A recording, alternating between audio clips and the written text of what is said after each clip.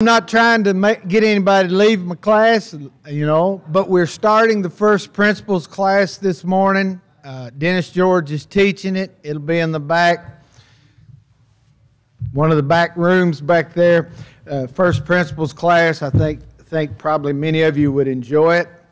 Um, I think we ought to let them teach it in here too uh, at some point because certainly we can all be refreshed on what what first principles are and what we're supposed to believe, the basics.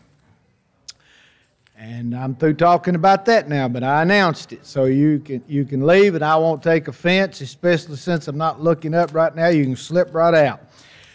Uh, 2 Samuel, we're going to finish up very quickly today in this, and we're going to start uh, on the subject of Islam.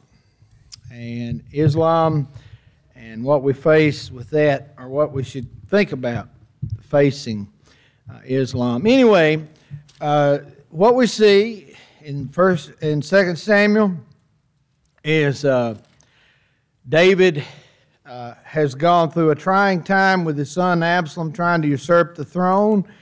He comes he comes back to power. He's getting some age on him, uh, and what you start seeing is, is a wrap up, if you will, of his, of his life in chapter 23, 2 Samuel 23.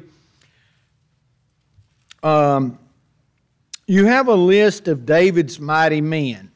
And so it's this old warrior himself reflecting back on his life, you know, and all of the great soldiers that he's fought with. And, and the only thing I'm going to say about that is that there's one person that he doesn't mention as being a great soldier that, that is troubling to me. His name appears in the list, but kind of as an associate, not as, as a great warrior, and that's Joab. Now, I know I, and bouncing around and, and running through the book as quickly as I have, uh, you may not have got to know David's family as well. Um, as, as, as I do, and I'm not bragging, I just, I, am intrigued by Joab and Abishai, but they're his nephews.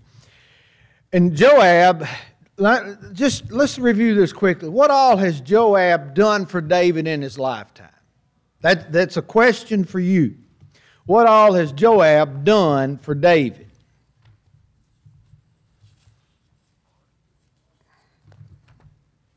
Now, that I don't mean for silence to take place. Uh, go ahead and speak up. If somebody else speaks up at the same time, we'll work that out.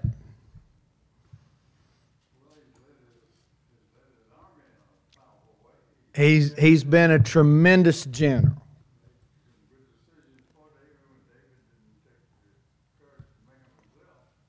Exactly right. He, he made good decisions for David. Uh, one in particular was uh, was uh, well, he, he probably shouldn't have. He probably should have captured Absalom, but he went to uh, David and rebuked David because David was grieving for Absalom and not, not being grateful for the men that fought to preserve him uh, as king or, or put him back as king. Uh, that's, that's one thing. What else did he do? It's not a good thing, but he saves he tries to save David by by by working with him uh, to have to have the soldier killed, Bathsheba's husband. Remember, Joab is the one that, that pulls that off for David, and you say, well, that's that's not a good thing. No, but it's it's a loyal thing. And he's loyal to David. And David is constantly wanting to get rid of him as general. You know, here, the first one that gets in to the city of Jerusalem gets to be the new general. Well, you're not going to beat Joab out, so Joab wins that, but he's always trying to replace him. But anyway, in this list, he doesn't, he mentions Abishai, the brother of Joab. He, he, he mentions him, but he doesn't, he doesn't commend Joab for the years of service and and, and for the loyalty that he's shown, which, which bothers me. But we don't have the, the entire story. He also mentions verse in 24, Asahel, the other brother of Joab, which, uh, which got killed fairly early on in the story. Um, but anyway, list of men. Now, chapter 24 uh, is, is, a, is a strange story. Um, and we could spend a lot of time on it, but I'm, I'm not. I'm just. I'm choosing not to. I would also uh, tell you that you need to compare this to First Chronicles, the same account. It seems to, seems to differ. Um, critics would come to you and say, "See, the Bible contradicts itself. This book says this, the other book says something else." I don't think there's a contradiction. I think there's you need to blend the two stories. The same thing is true in the death of, uh, of uh, good grief, of all things, can't think. Judas Iscariot. Uh, believe it or not, I just couldn't think of Judas's name. How did Judas die? He hung himself. Well, how does the book of Acts portray his death? He falls and bursts asunder.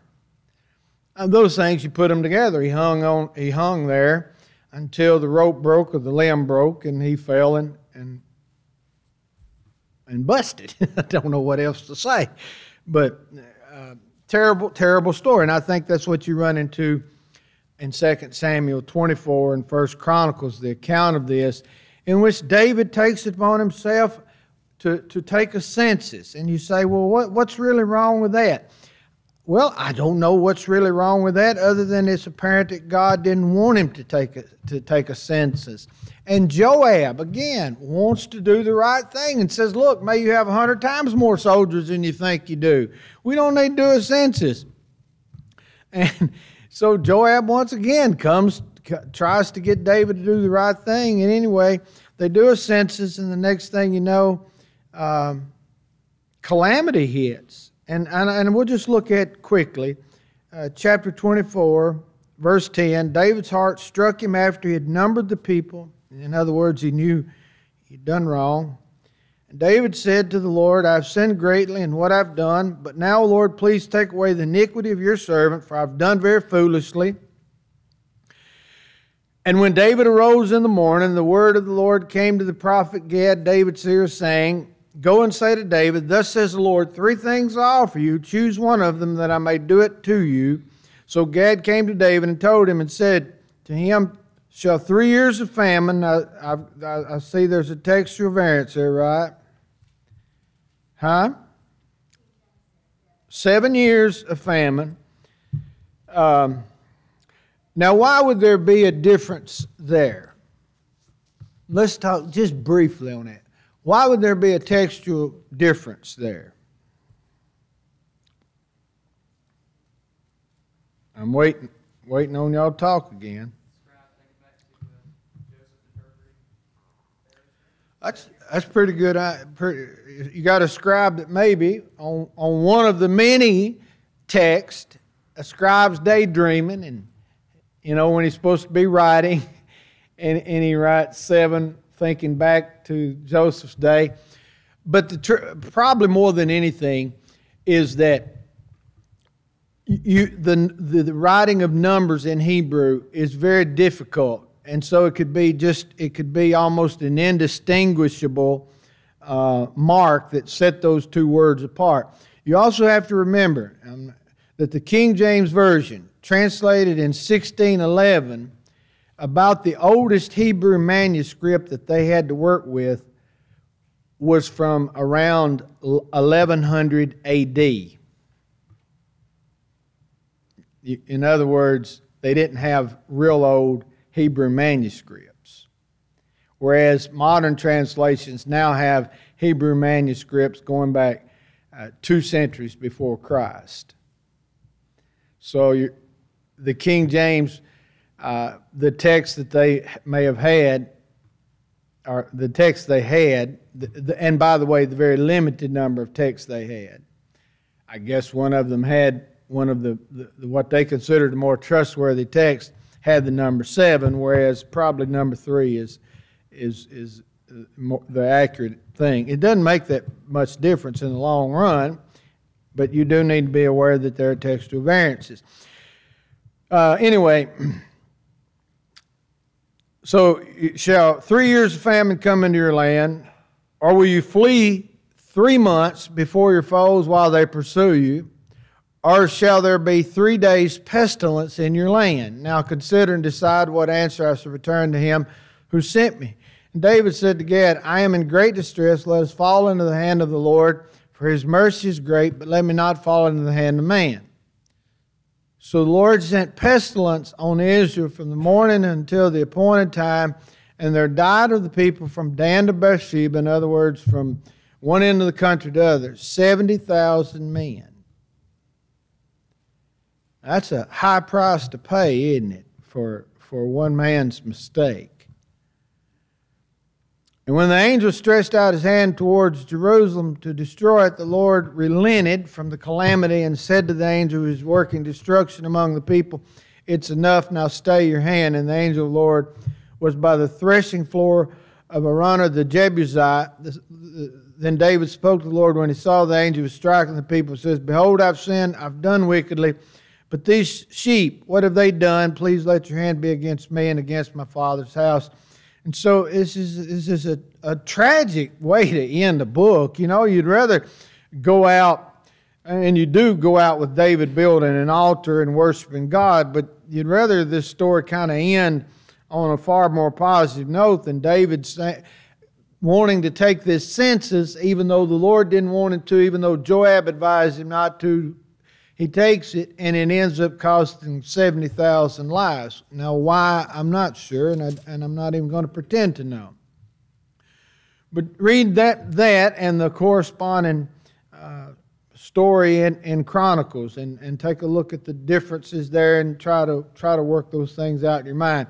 In, in 1 Kings chapter 1, you've got David in his old age. Um, he's got one son, Adonijah, that decides, hey, dad's, dad's no longer able to be king. I'm, obviously, I'm, the, I'm going to be the king. but that wasn't the plan. And uh, you've got some people working uh, uh, for Adonijah. You've got some people working for Solomon, and, and God is on their side. So you've got Nathan the prophet and Bathsheba. By the way, Nathan is the prophet that went in and, and pointed out David's sin with Bathsheba, but he's now working on behalf of uh, Solomon and Bathsheba. They go in and they, they say, now, now David, uh, we were pretty sure you wanted uh, Solomon to be king, but your son's out here, uh, Adonijah out here announcing himself to be king. Well, Solomon ends up being anointed as king, and so what you've got is a little bit of chaos already being a real possibility in Solomon's uh, during Solomon's reign. And then you have this wonderful text uh, of chapter 2 of First Kings in which David is giving Solomon advice, you know, on what it means to be king. And uh, some of it, it, uh, like I say, it, it's just this great text that starts off and says, Be strong and show yourself a man, serve God and it and then it from that point on it sounds more like pagan pagan kings than it does godly kings because he starts saying okay kill this person kill this person and all that. And so that ends the life of david. Terrible job of wrapping up but i'm going to get started on this today which is of some interest to maybe some of you. Islam. How many Muslims are there? I spoke on this during Vacation Bible School. How many Muslims are there in America? A lot. That's a great answer. How many? Somewhere between 3 million and 6 million. Now, to put that in perspective, how many members of the Churches of Christ are there in the United States of America? A little over a million.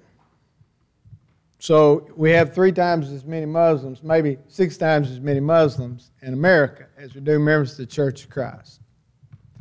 Now, how did all that uh, take place? you know, I think back on on my life. Now, I realized that I didn't get out much, uh, didn't get off Weekly Creek Road very much growing up, and really saw no need to because we had paradise there in my mind. Uh, but when I was a kid, I remember going to Joe Wheeler Dam down in, uh, I guess that's Florence. I don't know, somewhere, wherever it is. It's outside of Florence, Alabama. Anyway, went, went there, and I remember seeing my first foreigners. They were Japanese. Uh, and, and, and some of you remember back when years ago, there were Japanese uh, tourists everywhere. They always had a bunch of cameras. and it was just so strange seeing those. Now, in, in, from that point on, how much has our country changed? Now I realize that that our uh, our country already had big cities with uh, all sorts of people from all sorts of uh, all parts of the world, but everybody around where I grew up looked like me, sounded like me.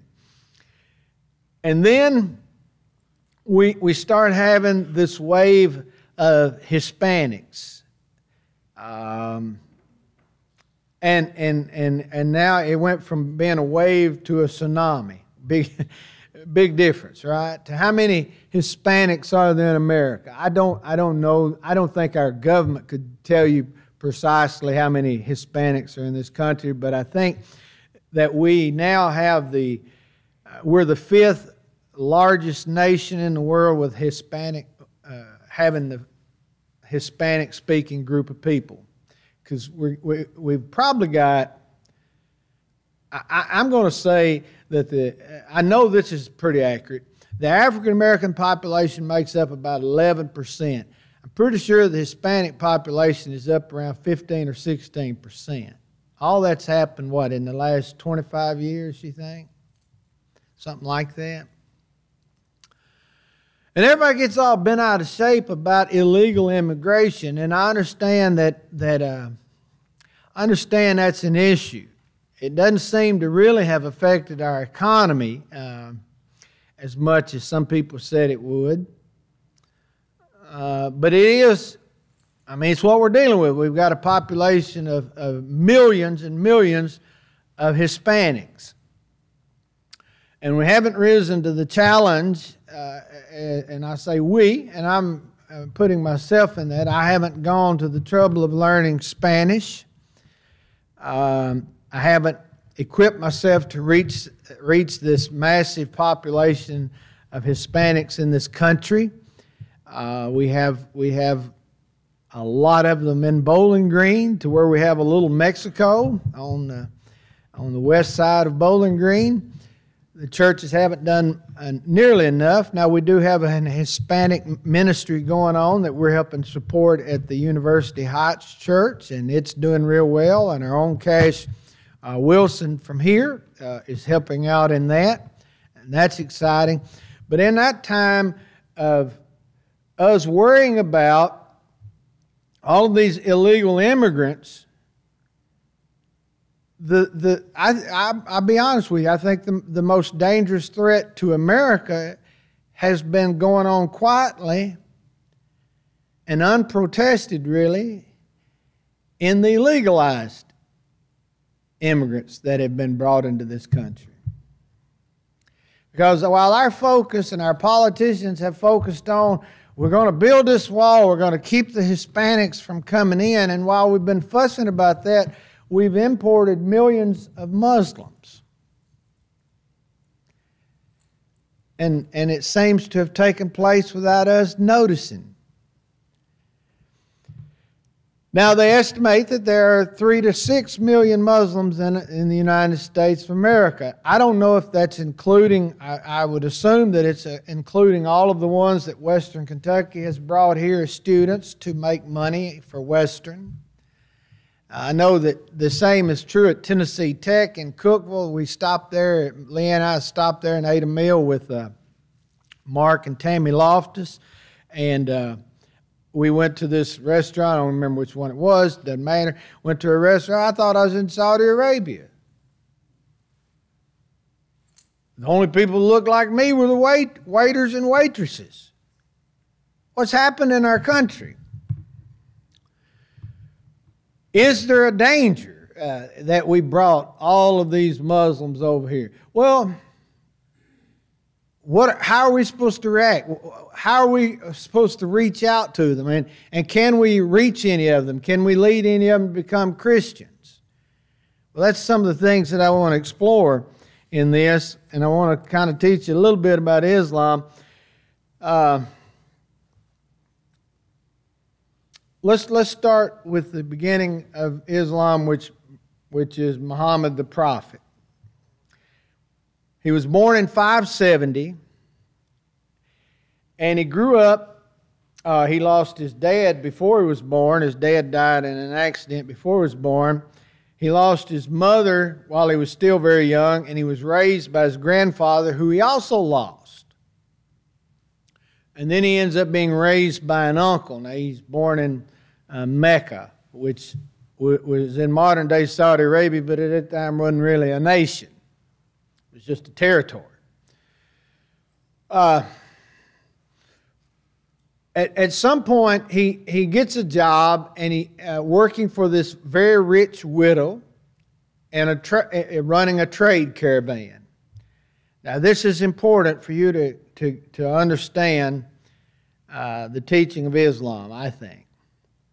He's traveling around all the time on her behalf, and he's learning from all of these different people that he encounters.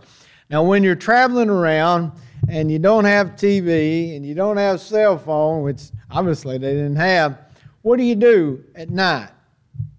You sit around the campfire and you tell stories, you talk, you teach. Well, there's no doubt that Muhammad was hearing from Jews and Christians in his travels.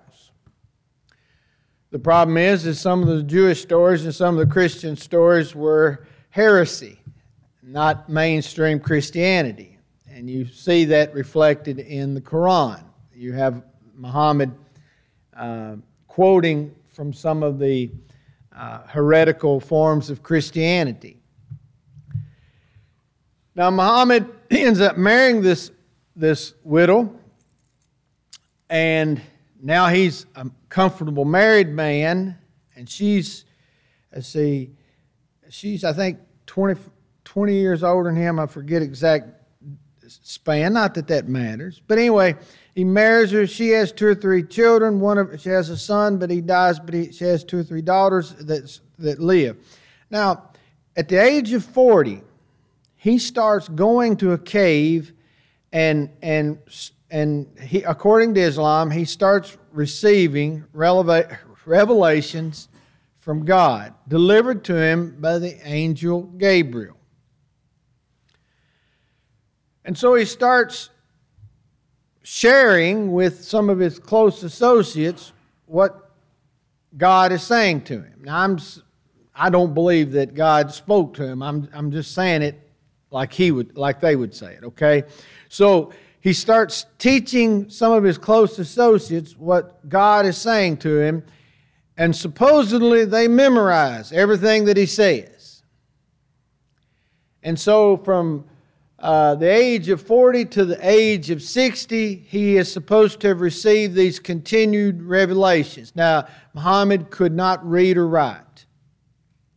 So he's depending on his friends to write down these, these revelations that he's having. Now, just as a show of hands, how many of you have ever read the Quran? Parts of it? Right, when you read the Quran, what did you find? What, what was your experience with it?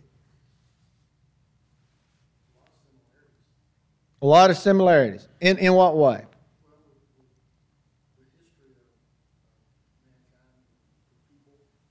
You do read a little bit about the creation.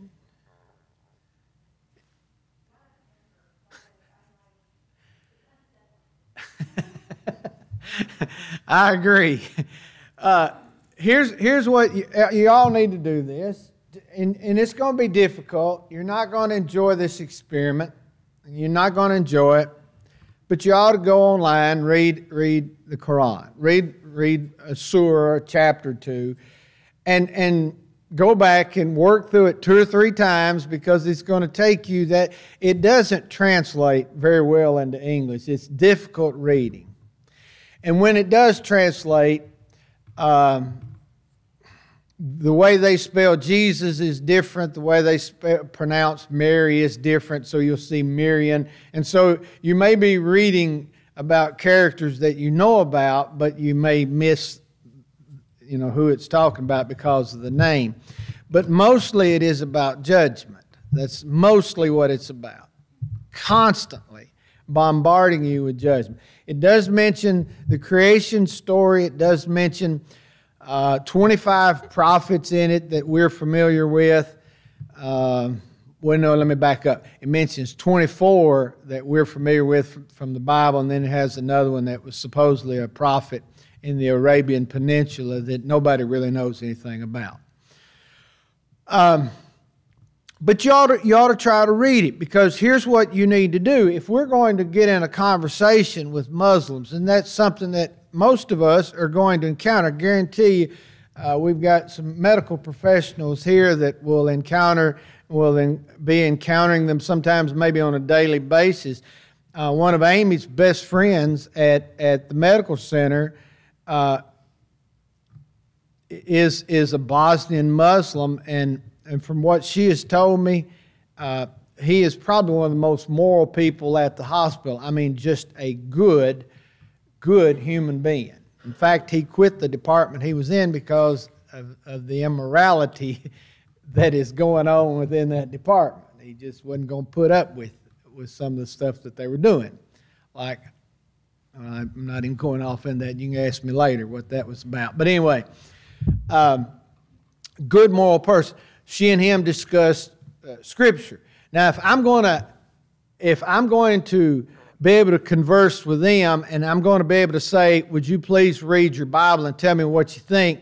They're going to, in turn, going to say, "Well, are you going to read the Quran?" And we ought, we ought to be. If we have truth, we have nothing to be afraid of. I, I believe that we have nothing to be afraid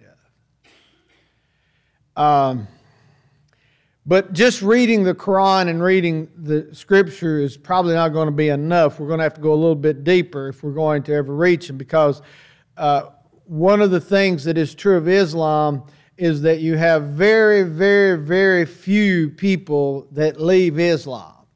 What's the main reason for that? You'll be killed. That's exactly right. Now, Christianity has not always been uh, at its best, right? Christianity hadn't always been at its best. Uh, there have been times, and I'm speaking very broadly of Christianity. I'm using uh, the umbrella term for everybody that says they believe in Jesus at this, at this moment. You know, there was a time where the Catholic Church uh, basically said to people, be baptized or die and they had trials in which if they found any discrepancies in a person's belief, they put them to death. But as far as I know, we don't have people running around threatening Jeff if Jeff leaves the leaves the church to kill him. We don't do that, right?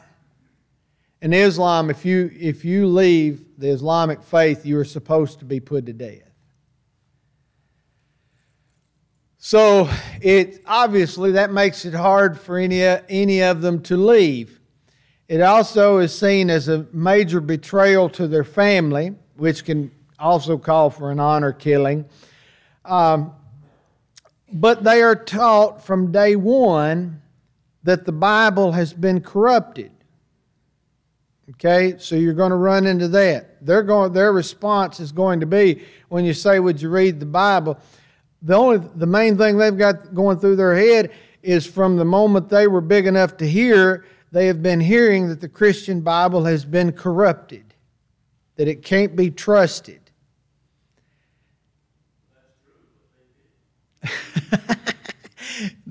the version of Christianity that Muhammad knew is the corrupt is a corrupted version of it. Also, what he knew about Judaism, a lot of it is corrupted Judaism. That's true. And where did he learn that? I want I want to keep coming back to that because that's important in our understanding of how the, the Quran came into being and how some of the stories uh, became a part of Islam. So we're going to we're going to we need to go ahead and just bite the bullet and read uh, part of the Quran, and you're going to struggle with it, and you may have to read a commentary on it. But here's what you're going to learn you're going to learn that it does tell a little bit about creation.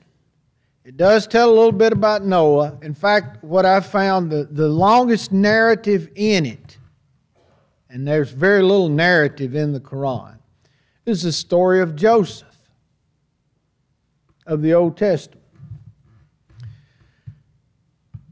And I and and I, and I'm running ahead of myself, but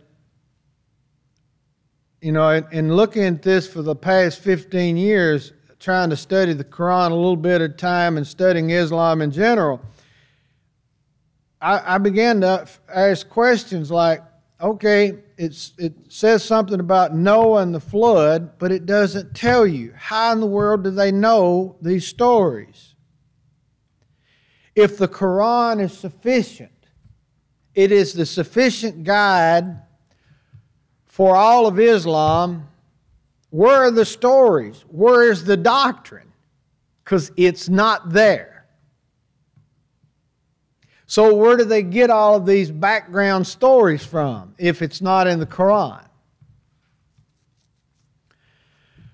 And I finally found the answer. The answer is that they had to have additional material. Now, a Muslim would never admit that, but they are totally reliant upon what are, what are called the hadiths, which are the sayings and examples of Muhammad the Prophet. One collection has 300,000 sayings and actions of the prophet. It took them 300 years to put those together. So, do you think they're pretty much all accurate? Uh, no. They wouldn't know much of anything except for God was going to judge the world if they have the Quran. That's pretty much all they're going to know. So you have all of these biblical stories, but you have them twisted in a different way in all of these hadiths. And I've already I told you one during vacation Bible school, um, and I'll and I'll give you other examples. But the one thing here's an easy one. Uh, Adam and Eve, when they were created, I've mentioned this here before. When they were created, they were about seventy feet tall. And the paradise they were placed in was actually heaven. And so when they got now that doesn't sound like the biblical account, does it? It does mention in the in the Quran that they were created uh, out of a drop of blood or out of a drop of semen or out of spot of mud. It, it's uh, three different possible translations for that one one word in the Quran. That they were formed pretty much the way Adam and Eve in the Bible was, was uh, created. But in the Bible, you have them on, on earth. And they're cast out of the garden because of sin.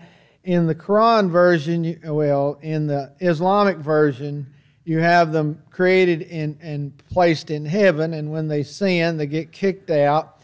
And, and uh, Adam uh, lands in, in uh, Saudi Arabia, and Eve lands in India, and they wander around until they find each other.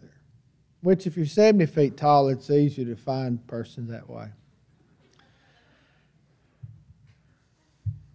And I bet if you're 70 foot tall, you you can holler louder than we can.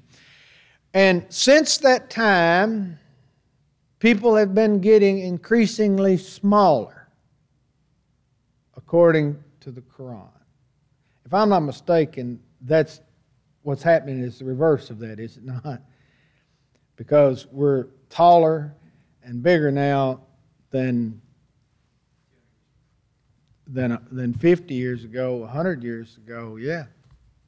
But the, the, the, the, teaching is, is that we're getting constantly smaller. But when we get to heaven, Natalie little short Natalie back there. You get to be 70 feet tall. Isn't that great? You little shrimp, you 70 feet tall. That's something we got to look forward to.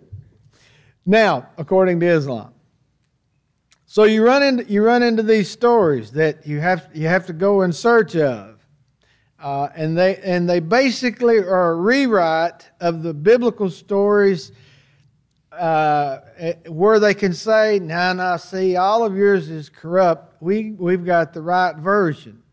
Well, there's a problem with that. Christianity had been around for 600 years before Muhammad, who couldn't read or write, starts to preach. Then the stories about all these biblical characters come along another 100, 300 years. So we're talking about 800 years after Christianity, basically. Along comes these people that says, you got it all wrong. We've got all the answers. Now, I'm not trying to be mean, but that's pretty pretentious, isn't it? Pretty arrogant. and then go back and say, well, now, wait a minute, you Jewish people, you have really had it wrong. We're going to rewrite all those stories and tell you where you're wrong. Let's forget the fact that our, that our main prophet uh, couldn't read or write uh, and didn't write a single word down. We're just going to tell you everything you've got is wrong. Well, that's, that's the, what we're up against in trying to teach somebody that is a Muslim. Now, please keep in mind, I'm saying some mean sounding things. I'm not saying anything's not true. And I don't believe that it will help anybody if we're mean to a Muslim person. I think we ought to be kind and gracious to them and be composed. So when they make accusations that infuriates us, that we don't show them our ugly side. We, we stick by truth and we present it in love. That's, that's what I think is important. And we don't get rattled because just because we don't have an answer right at that moment don't mean that we, we can't come up with an answer. That is a legitimate, fair, sound answer. I think we've got to I think we've got to come to terms with converting pretty much anybody today, not just a Muslim. Converting anybody today uh, takes longer than what it used to. Yes, sir.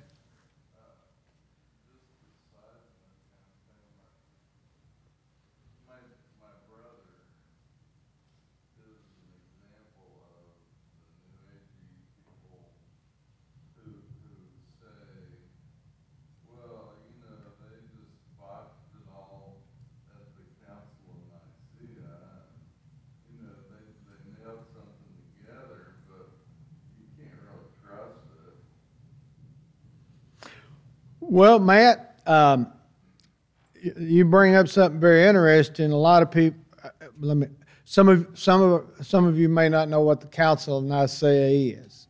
It's okay to study that. Uh, we we ought to study because uh, we, we do. We how did the New Testament come together? We to be honest, if we're really going to discuss things on intellectual level, we need to know some of this stuff. How did the New Testament come together? I'm not knocking the King James uh, when I say this, but this is basically the way I grew up believing. Basically, God dropped the King James Version, leather bound, red lettered edition out of heaven. That's the way we got the Bible. And that's not the way it happened. And it was a little disconcerting when I found out that they actually debated on which books belonged in the New Testament. But if you study that long enough, you come away with every bit as much confidence as you, as you start. Well, actually, you come out with more confidence than you started out with. There's, not, there, there's very little doubt that what we have is the Word of God. We, we do run into little things that bother us a little bit, like whether it was three years of famine or seven years of famine. I mean, we, we but we get, we can admit that and work through that. That's not it doesn't become that big of an issue. I'll tell you a quick story, and then I think class about be over. But you come to me, ask me questions that you want me to deal with. Uh, that's the best way for me to teach what you need to hear, want to hear, is that you let me know what you want me to address, and, and I certainly will try to address it. Um, I took a class entitled How to Study the Bible. And I was so mad that I was having to pay whatever it was per hour for this class because I, when I was going to undergraduate Bible school, folks, I was so poor. I didn't have.